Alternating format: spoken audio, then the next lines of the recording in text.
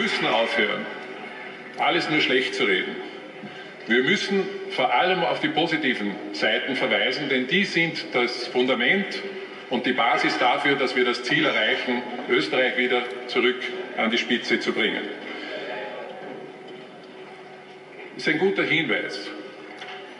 Und ich möchte allen Interessensvertretungen ins Stammbuch schreiben, Seien Sie nicht weiterhin Teil des Problems, seien Sie Teil der Lösung. Applaus